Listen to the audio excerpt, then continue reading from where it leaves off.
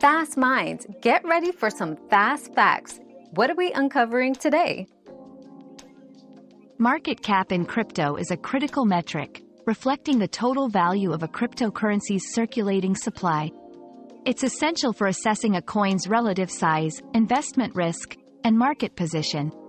A higher market cap can indicate a more stable and established crypto, potentially offering lower risk for investors.